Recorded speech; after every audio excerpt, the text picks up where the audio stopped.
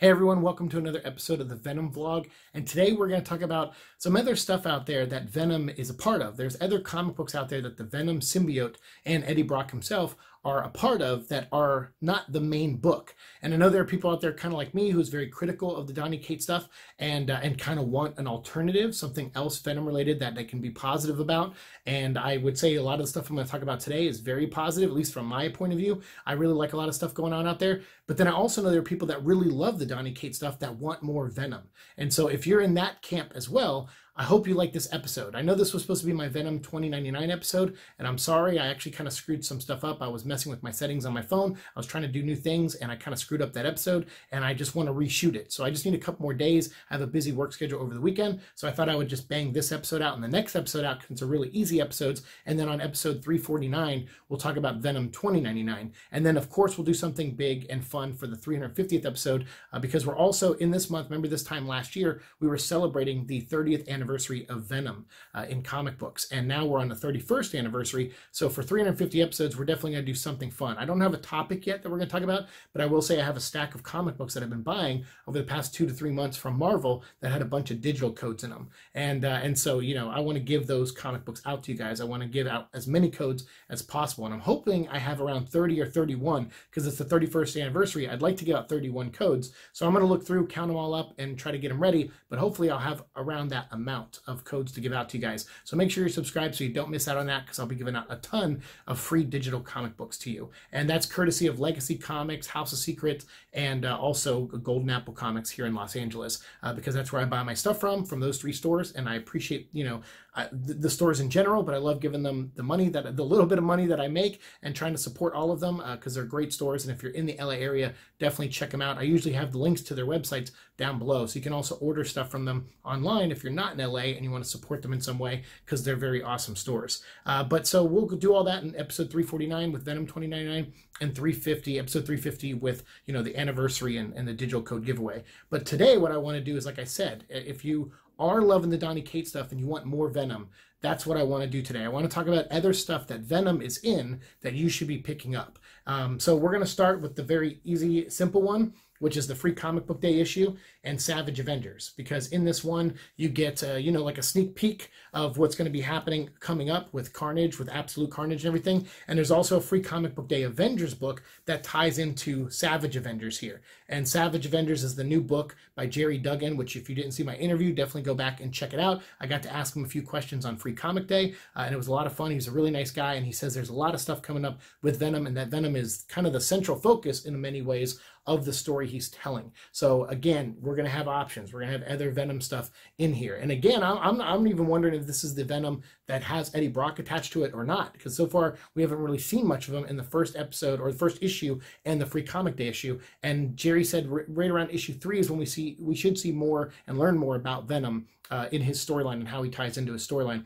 So I would imagine that, you know, we're going to get our answers hopefully around then of which Venom it is and, and all that stuff. So anyway, the book's out there now. Pick it up if you want more Venom action. Um, like I said, not a ton of it in the first issue, but they're going to set up a lot more. But in the Free Comic Day issue, uh, there is some cool stuff in there that you should be checking out. Um, and then also there's War of the Realms. If you're not reading this uh, and you're a Venom fan, definitely pick it up. Uh, this book has been really, really great. This week they released issue four. And don't worry, we're going to do another. And there you go, Venom on the cover there. Venom's on this cover too. We'll talk about in a second. Uh, but in you know in the first episode of that we did for War of the Realms, we covered like maybe five or six of the issues, like the two or two or three main issues, and then like three or four tie-in issues. So we covered a lot of stuff, and we did it while playing Marvel vs. Capcom, uh, the new one, the Infinite one. So we'll probably do that again when uh, issues four and five and a bunch of tie-ins come out. I'll probably do a, a, second episode of that, and then when issue six and the ending come out, we'll probably do a third episode of that. So I'm glad you guys like that format. We'll definitely continue it going, and we'll make a trilogy of talking about the War of the Realms books. But again, these all have digital codes in them, so I'll be giving them away on episode 350 50 if you're unable to get a copy yourself, definitely stay subscribed because I'll give out free copies of all the War of the Realm stuff coming up. Uh, so issue four is a big one. Uh, it has where you know Malekith kidnapped Venom in issue three, and this is the Venom that doesn't have Eddie Brock in it. Thanks, thanks to you guys for pointing that out to me and reminding me, hey, there is a symbiote out there that's running around calling itself Venom that doesn't have Eddie Brock attached, and that's what this is. And then of course in the regular Venom book, it's being taken over for three issues by Cullen Bunn and Iban coelho and they're doing a great job with Rune Venom, aka Magic Venom. And that's where Eddie Brock gets a different symbiote from these witches that work with Malekith. And he's trying to use that symbiote and that power that he's in complete control over against them to fight back. So maybe we'll even get a Venom versus Venom fight in this. That would be really awesome. So uh, yeah, so definitely pick this up. And while you're at it, go ahead and pick up Strike Force The War Avengers, which is a one shot tie in written, uh, written by Dennis Hopeless that has Venom in it. And this shows you the events between issues three and four. So, uh, or maybe it's issue two and three, where it shows Venom teaming up with the Avengers or this group of Avengers uh, with Deadpool on it and Lady Sif and, and uh, Captain Marvel and Captain Britain and Weapon H, Winter Soldier, Black Widow. It's got a really great team and it's them uniting and going into battle to save people. And you find out that it's not Eddie Brock, it's the symbiote by itself uh, going in because you'll see some action where a frost giant smashes him and then he wraps around the frost giant and like jolts through his head, becomes like a knife, and like takes like a, a, form of a knife or a blade and goes right through the frost giant's head and kills it, which is really awesome. And then if you read that, that'll lead you into issue four here, where Malekith has control of the symbiote after he got control of it in issue three. So you know, pick up issues one, two, and three, read this between issues two and three, and then read issue four soon afterwards. So again, more Venom stuff there. And then also obviously in the main venom book cullen bunn if you're you know dipping out on it because donny cates isn't writing it i would say stick with it because there's still some stuff in there that tie in to the donny cates uh, run so far. Like they mentioned rex in issue 13 and they also have dylan being a part of the storyline too. So don't miss out on that. And then if you also want just symbiote action maybe you want to see the symbiote in action without eddie brock. Um, you know which you're getting kind of in war of the realms a little bit but if you want to see other stuff there's an out of continuity spider-man comic right now called Spider-Man Life Story. And in this one, it's basically what if Spider-Man actually aged? And so I guess that's the best way to put it. So it starts off in the 60s when he's like a 15 year old kid, then it goes to the 70s and then into the 80s. And that's what each issue is going to be. It's written by Chip Zdarsky and Mark Bagley's doing the artwork. It's really awesome stuff. As you can see on the cover here, it's like Kraven's Last Hunt. It's Spider Man in the black costume being buried. And that's what happens in this. They retell basically Kraven's Last Hunt. It shows Secret Wars. Um, and again, in this continuity, like Peter Parker is actually aging. So he developed a friendship with Reed Richards. Everyone in the universe actually aging. You can see the Secret Wars here in 1984. Reed Richards is getting older. He's an older guy, and he's kind of a mentor to Peter Parker. They had a falling out in the 70s, and then now Peter Parker and him are kind of on speaking terms again after the Secret Wars. And while they're there, that's where Spider-Man picks up, obviously, his new costume. He goes over to the machine, just like it happened in the old comic, Hulk and Thor there, and the machine produces a symbiote for him and that's where he gets the symbiote. And then it shows him being obsessed with it and using it way too much and, and enjoying it because, and there's even a little Rorschach reference there, which is cool. But it's him using it and uh, and Mary Jane not liking that. Like it, it's it's totally taken him over. And in this world, in the 70s, in the 70s issue, they introduced like the clone of Peter Parker and, and Gwen Stacy, and they he found out the Gwen he's known was actually a clone because Miles Warren wanted to keep the real Gwen for himself, like a creepy weirdo that he is. And so the real Gwen died in that incident. And Peter was like, I have no one left. I have no one. He's like yells at Mary Jane, just like he did in the comic book back in the day. And she ends up, you know, embracing him and they fall in love and they end up having two kids together and Peter is not ready to give up this power of the symbiote because it's it's giving him what he needs. Like he he still feels empty without Gwen, even though he's got a wife and kids now, and he's kind of being irresponsible with his feelings in a way to Mary Jane. And I kind of like how this story handles all that, but then also brings Peter back from the brink and it saves Peter uh, in a big way. And that suit that he has, uh, you know, uh, he, he tries to get rid of it uh, like he did in the comic books, uh, you know, in the old comics. But again, this is an out of continuity story, but it's really well done. And then they dive right into Kraven's last hunt. So Kraven shows up in a black suit to take out Spider-Man, but he's now wearing his original suit again, and uh, and they get into it, and it's pretty brutal. But in the end, Spider-Man gets poisoned, he gets stabbed in the stomach, and Kraven buries him alive, just like he did in the comic. And the suit find you know senses that and it breaks out of the hole that it, that Reed Richards put it in, and uh, it breaks out, and, and, or Reed Richards and Peter put it in. It breaks out and it goes and it gets uh, Peter from the grave. You know, as Peter's dying, it comes in and heals him, and it actually turns him into Venom, uh, which is really awesome. Like it, it brings out the real monster in him. And as Kraven's trying to hurt people as Spider Man in the black costume, uh, but still thinking he won, then that's when Venom shows up. And Kraven even is like, "Hey, you did it! You like you're the monster that I want you to be. I, you know, I I succeeded."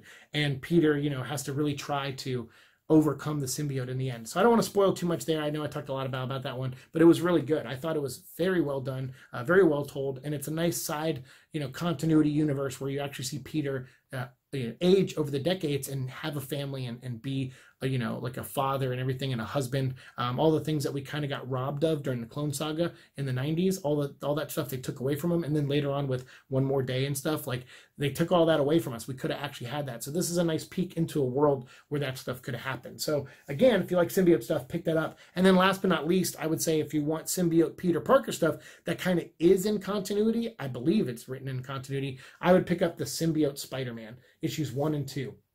This is really great if you're a Mysterio fan or if you want to learn more about Mysterio before the movie comes out.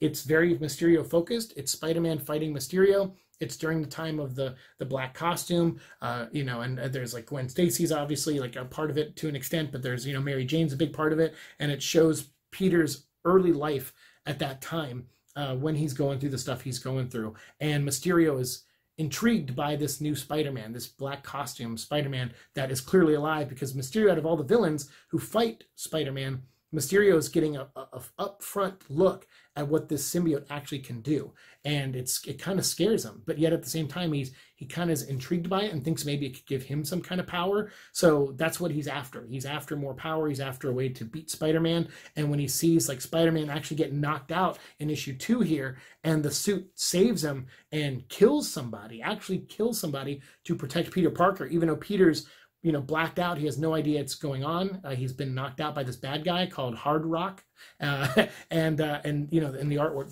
by the way, is really good. I, Greg Land, I'm not always on board with, especially his his techniques that he uses to draw, but I can't deny some of the stuff he does looks really good. Um, even if he is like tracing like adult film stars' faces on these things, um, it's it's like whatever. I guess you find inspiration wherever you can, I guess.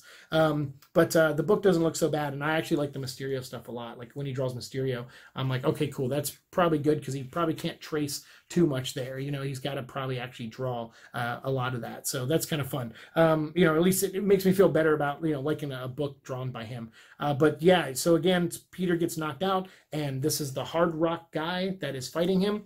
And the suit comes to life and kills him, like just straight up, like goes right, wraps around him, goes into his head and expands his head, blows it right off. Uh, yeah, you see it there, like he's swallowing the symbiote, and then it explodes his head. It's it's pretty gruesome stuff. Um, and then like the Kingpin gets involved at the end there, so uh, with along with Mysterio and stuff. So Again, it's a Mysterio focused story, so if you're out there and you want to learn more about Mysterio, it's awesome. But if you also want to go back into the days where Peter Parker had the Venom symbiote, uh, this is really fun too because Peter David's writing it, who wrote that era of Spider Man back when this was happening. And he was one of my favorite writers on the book and cemented him as one of my favorite writers in comics at this time. So, him getting to revisit it is a lot of fun. And he knows the continuity really well because a lot of it he wrote back then. So, it's nice to see him playing in that sandbox again and trying to fit this story storyline into that continuity. Uh, but yeah, if you're out there and you want more symbiote stuff and you don't mind Peter Parker stuff, which I'm sure many of you don't, I know a lot of you are Spider-Man fans, pick up Symbiote Spider-Man today pick up Spider-Man Life Story, pick up War of the Realms, and pick up Savage Avengers.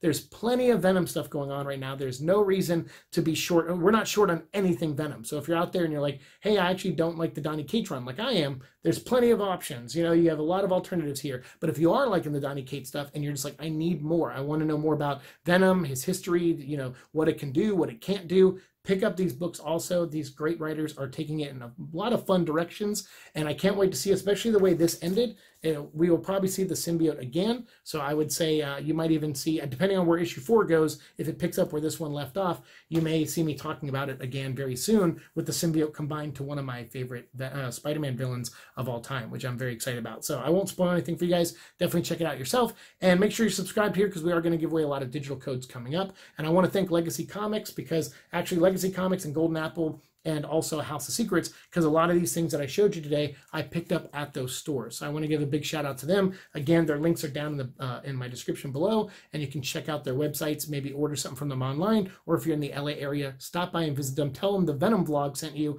uh, and uh, and you know, and definitely check out those stores. They're amazing. Um, but anyway, that's all I have for today. I, I thought this would be a quick video. The next one's going to be kind of fun, so hopefully you guys like what I'm going to you know be talking about in the next episode. But for this one, I just want to talk about these comics, get the word out there that there's other stuff out there with symbiote in them, and you should be reading all of them because they're all fantastic. Thanks so much for watching my show. As always, like, share, subscribe, all that fun stuff, and I'll see you in the future. Peace.